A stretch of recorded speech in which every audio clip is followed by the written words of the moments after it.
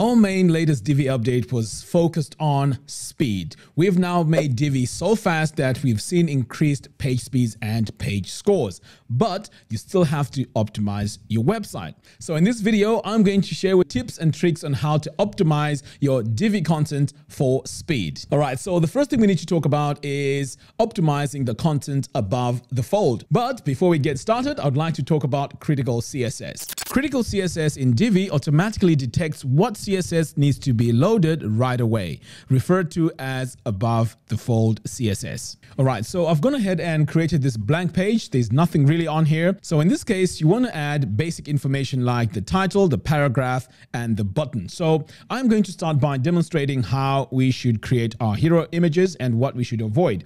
So let's go ahead and get started. So over here, we're going to add our modules. So let's start by adding a row. So I'm going to add a single column and I'm going to start by adding a text module. So this could act as our title. So I'm just going to minimize, add this as our title. So I'm going to change this to heading one. And then I'm going to add some paragraph text. Next, I'm going to uh, center this and we may also need to style it as well. So I'm going to come over here to design and I'm going to start here with the heading. So let's say we want to change this to bold and center it. And we might as well add our font. Now you guys know I like using Poppins, so let's go ahead and add that. Also go here to our paragraph text. And again, we're going to change this to Poppins. So this is the design process that you'd normally go through as you're designing your pages. So here I have my uh, main content. I'm going to save this. My next module here is going to be a button. So I'm going to search for my button module and here it is. Next, I'm going to come over here to design alignment, make sure it's centered. And I'm also going to go in and activate use custom styles for button. So we can just add a bit of styling to this. So we're going to add a background color. So let's go with something like that. We're going to add our border. And for our text, we're going to change this to a light color and change our font to Poppins. Okay, great. So far, we've just added our main content here. In order for us to show our content above the fold, we really need to make sure that this section here covers the main area of our screen. So I'm going to come over here to section settings, and then I'm going to go into design, sizing, and now I'm going to come over here to minimum height and set this to 100 VH. So this ensures that my design now is going to be pretty much covering the main screen. It's pretty much covering above the fold content. Of course, this is very basic. You can also go in and add other elements to make this look nice. But there's also something that we need to discuss here. So when using images, I will stick with JPEG because it just uh, allows you to optimize them without losing a lot of detail. Stay away from PNGs unless you really want to use uh, the transparent backgrounds. Now let's move on to another way that we can create our above the fold content. And and that is by adding a full screen hero area. So I'm going to come over here, click this plus button, go to full width, and I'm going to add my full width header. So again, you can see here we have our main content that uh, we had over here. We have our contents, a paragraph, and our button. So over here, the, the advantage of this is it is very easy to use and everything is all set up for us. All we have to do is to uh, come over here to design, go to layout, center this, so just by doing that, all our content has been centered. And then here, instead of adding that 100 VH, we have our full screen. So I can just say make full screen, and that now becomes my above the fold content. We can further customize this by going in, changing the fonts, and uh, also changing the uh, paragraph text and the button as well. So chances are you do not want to have just the text. You may also want to add an image over there on the right. So if you wanted to add an image over here to the right, here's how you do it. You just come over here, align this to the left, and then go back to your content and you need to come over here to images and then you can add your header image. So I'm going to go into my media library and choose an image. So let me go with this one. And now I have my image over here. Now, but remember, this image has to be optimized. So you need to go into a program like Photoshop or Canva and reduce the file size. Okay, so this is how you would have your layout. But of course, you can further customize the background and add a uh, background color here that you may prefer uh, just to make your design look much, much better. And then once you're done with that, this now becomes your content above the fold. So while we're on this topic, please try and avoid using images for this main background area because that is going to uh, take a lot of time to load. So while we're still on the topic of the hero area, we need to try and avoid using animations because the animations are just adding more code, which will then impact our load speed of our page. So make sure that you try and avoid using animations. If you do really want to use them, then you may want to use them below that fold. All right, so now we're going to be talking about the last important thing about critical CSS.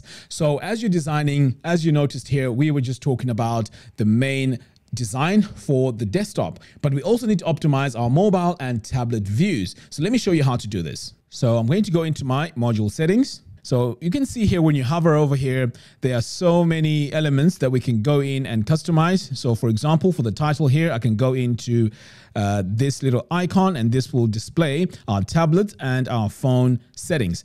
So over here, I can go in and adjust the size or the design or whatever it is I need to design or change. So let me show you how to optimize this. So it may be that there is certain content that you need to show on mobile devices and exclude on say desktops. So let me show you how to do that. So I'm going to come over here to uh, this image and Let's switch over now to my tablet view. So when we focus on this image here, it may be that this could be um, quite big to show on uh, mobile devices or tablets. We can come over here to our image and then go into this little icon. So this is very important here because we can go into the tablet and then add a specific image for this, which is even further optimized because remember on the tablet, this is a smaller screen. So ideally you don't want to use the same image on the desktop as on the tablet because uh, these are bigger size and it's going to take time to load. And the same applies for the phone.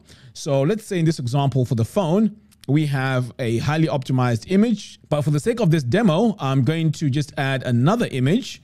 So I'm going to come to my media library just to prove that uh, this is working okay. So let's assume that this is the optimized image. I'm going to go ahead. And in fact, you can see the size here, 1920 by 978.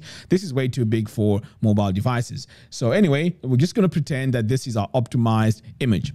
So when visitors go to your site and they're on mobile, this is the image they see. But when they are on the desktop, they are going to see a totally different image, which is this one. So you can see here as I scroll through, this is changing. And in fact, if I save here, I can go to my desktop and this is the image that we have.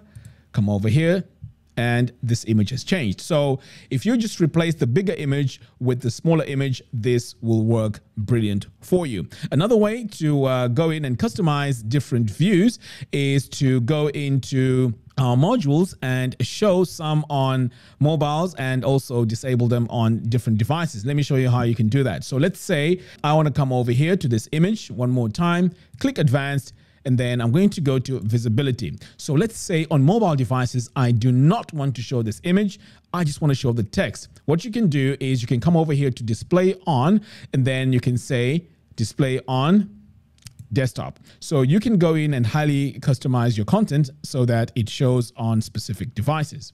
So in this case, if I want to disable this on the phone, I can just disable that and that. And now this only shows on the desktop. I'm going to save that and let's see what happens. There we go. So you can see it's grayed out. That means it will not show. So by optimizing your website this way, you're going to improve your critical CSS, therefore making your website even faster. The next optimization tip I want to talk about is presets. So how this works is when you set presets on your website, this loads less CSS on your page. Now imagine this. Let's say you're building your sections and uh, also even your rows, but each time you're setting different values for your sections padding.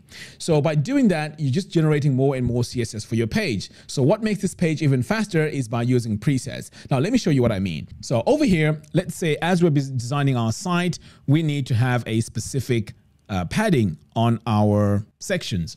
So let's add a row and we're going to add a call to action in here. So you notice that we have a set padding here, but let's say you want to have uh, padding which is even um, slightly more than what we have here. So what you'd normally do when you're designing is you'd come over here to your section settings, go into design, and then over here on uh, spacing, you'd go in and say, okay, here I need 100 pixels. And then you apply it to the top and bottom and then save. Now, notice what happens when I go and build another one. So let's go into regular. And again, I'm going to add a single column. Uh, let's add a call to action, just like what we did before. And this time, you can see I have to go in and also add this manually. So all this is just CSS code that I'm just adding each and every time. So sometimes you may say, oh, you know what? I want to add uh, maybe 80%, right? So first of all, by adding 80% or 80 pixels, uh, we are adding more and more CSS code. So for this page, the CSS that has been generated is for the 100 pixels here and also for the what? For the 80 pixels here. So what we need to do is to generate presets in order for us to have consistency throughout our designs. Let me show you how to create your preset. So what you do is you go into any of these sections. So I'm going to use this one here. And then I'm going to uh, come over here, make sure I have uh, my assignments here the way I want it. So 100 pixels should be fine as I'm designing my site. So what I'm going to do now is I'm going to come all the way to the top here, click on this drop down and create new preset from current styles. Okay, so I'm going to go ahead and do that. And I'm just going to call this 100 pixels padding. It's always good to name your presets. So what you can do here is you can either set it like this and then apply it every time you're designing. But if this is going to be your main uh, way of uh, having your padding or this is the right setting you need, just save this as a, assign this to default and save. Okay, so I'm going to say yes, I am sure, and then save this one more time like that. Okay, now notice what happens. In fact, let's delete this now notice what happens when I add a new section. So if I click here on this plus button, add my regular section. Now I know you haven't seen it because I haven't added my call to action yet. And here it is. And I'm just going to save. So what has happened now is you can see, in fact, let's add a background here so you can see this clearly. Okay, there we go. So when I hover over here, you can see our 100 pixels. So every time we're going to create a new section, we're going to see this 100 pixels. Now imagine if you can do this across your all your modules, all your sections, all your rows. You are going to save a lot of CSS loading up on your pages. So let's say you really, really, really need to use animations. What you need to do here is to choose a specific animation style by doing that, then your page knows that it's going to load that specific style and pretty much that's it. So as you can imagine, if you have different animation styles on the page, this is a lot of code that's being loaded up. So you really want to keep things very clean, very simple. And this should also help your pages load faster. But if you don't really need to use animations, then you can just do without them. Next, let's talk about font pairing. Now, when it comes to font pairing, remember our fonts are being loaded up from uh, Google Fonts. So we need to avoid using many, many fonts on our website. So what I highly recommend you do is to use different font weights or even use at least two font families. Here's what I mean. So if you take a look here, all I have is just different font weights. So I'm using um, Poppins here and I've just added bold to this one and made the text even bigger because this is heading, but this is one font style. So over here, I've uh, made a change slightly. I'm using a different font here for the heading and for the paragraph. So if you choose this option here, just make sure you stick to two, but not more than two font families. This will make your website load faster, uh, limiting the amount of fonts being loaded up from the Google Fonts. Okay, so finally, let's talk about how to optimize our images. I know I touched on this a little bit in the beginning. So the type of images or the image types you need to use on your sites are going to be JPEGs. JPEGs are very easy to optimize. You can make the files smaller without really compromising on the image quality. If you use PNGs, these come with a very, very high file size. Yes, the designs may look all fancy without the backgrounds, but just bear in mind that this is your trade-off. You're going to have, you're going to have have uh, pages that are going to load slower as a result of using JPEGs or even GIFs. And also, as you're designing your site, make sure you go into each and every mobile device uh, size and optimize your websites for those screen sizes. So you need to go into your tablets, optimize your images, optimize your text, go into the um, mobile devices and also do the same. This ensures that your website is going to be fast on all devices. All right, guys, that's all I have for you in today's video. Thank you very much for watching and I'll see you in the next video. Take care.